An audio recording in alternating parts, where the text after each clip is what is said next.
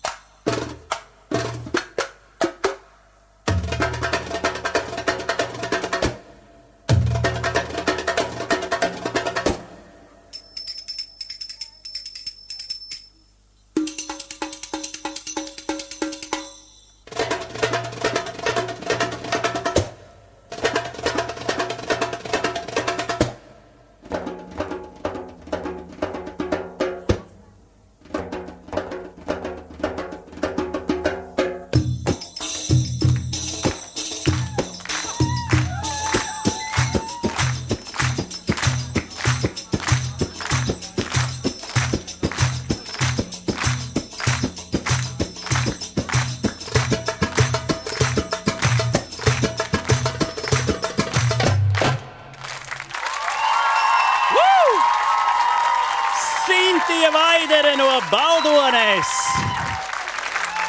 Sintīna, man liekas, es tā druskuļi pavēroju agri, un man liekas, ka viņš izkusa. Kā tev šķiet, tā varētu būt? Nezinu, nav nejausmas. Klausies, kura ir visgrūtākā kustība? Ko tev visgrūtāk bija apgūt? Vari parādīt? Mēģināšu. Sintīna nesola, bet mēģinās.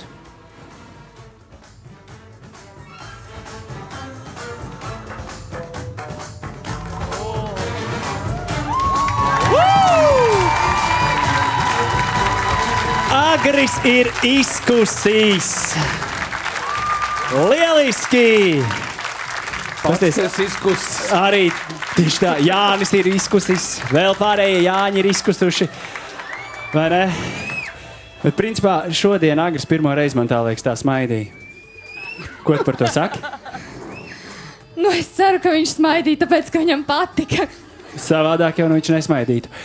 Agri, tavs viedoklis. Ko lai es saku pēc šādas gar, gara ievada, pēc, tā- pirms tā, um, pēc šādas garas uh, priekšspēles, teiksim tā. Labi. Pēc nevar parunāt.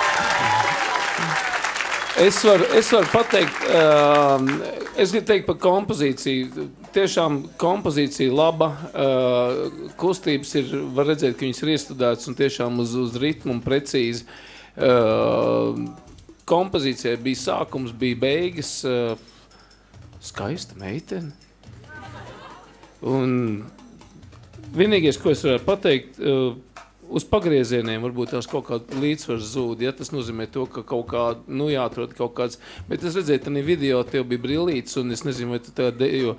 Vienkārši, ja, ja ir, ja ir, teiksim, redzes problēmas, tad tādā gadījumā to, tas ir tiešām, tas ir pilnīgi loģiski, ka uz pagriezieniem arī varētu būt tāda sašūpošanās, bet principā tas ir piedodami. Tas man netraucēja baudīt šo priekšnesumu. Tu viņu paņemsi uz dzirnām un tur apmācīs maķi. Viņi jau nenāks, ja viņi tik nāk. Iesi aicinās. Vispār jau bija tāda doma senāk. Ai, uz priekšu. Ar atklātām rokām sagaidīs, jā? Protams. Jāna, lūdzu, tavs viedoklis. Uh, jā, uh, es īstenībā pirmo reizi, nu, lai tad laikam ieraudzīju, kā tas ir, kad vēders dejo. jā, nu tā, nu.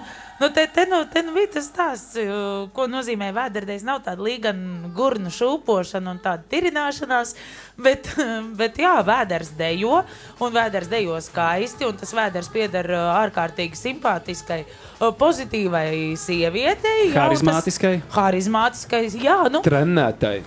Un pie tam vēl kā trenētāji, visas tās lastočkas, vai, vai gan visi šie lecie brīnišķīgi. Ļoti, ļoti foršs priekšnesums, un tev arī viss izdevās un sanāca. Paldies, Jāna. Jāni, lūdzu, tavs viedoklis. Jā, nu, uh, nu, ja tu negribi pie agri iet, uh, tad nāc pie manis uz kori dziedāt. Jūs korī visi dziedāsiet un cintī pa priekšu dejos. Nē, ja? nu, gan, jau, gan jau viņi arī dziedās. Nu, ne, Ā, ne, varbūt tās, varbūt tās viņi varētu tevi apmācīt, kā tev jādiriģē ar tādām ak- jā, tā gan ir ideja. vai ne? Tieši tā. Bet viņš jau stāv ar muguru pret publiku. Vēl jau labāk. Tieši tāpēc es gribēju teikt, jo es parasti stāvu ar muguru pret publiku. Man uh, ļoti patika, tad, kad tu stāvi ar muguru pret publiku pašā sākumā, ja, uh, frizūra tava. Man ļoti, ļoti patīk, jo perfekti, skaisti mati un speciāli uztaisīja tā, lai arī, kad tu esi ar otru pusi pret skatītājiem, lai arī ir patīkami skatīties. jā, nu, nav tas tā. Bet par priekšnesumu, jā, attraktīvi, aktīvi um, mm, un, un ļoti trāpīgi uh, ilustrē, ilust, ilustrēja to muzikālo materiālu, kas bija un tiešām ritmiski, precīzi. Tiešām ļoti liels prieks, ja tu nāksi uz kori un skatīties. Ies uz kori. Tu nezini, nav īsti aicinājums. Nē, nē, nē. Tagad vai nu koris maska, vai nu dzirnas. Tad Tev ir par ko padomāt. Bet agrim tagad ir desmit sekundes zvaigznei. Man jāatvēsinās. Ir pirmā zvaigzne, ir Jāna Lūdzu, tavas desmit sekundes. Man nav jāatveicinās, man viss ir skaidrs. Paldies, Jāna! Jāni, lūdzu, tavas desmit sekundes zvaigznei. Man būs baigi ātri šoreiz. Paldies! Latvijas zelta talantiem iemirdzēties palīdz zelta ziltiņa.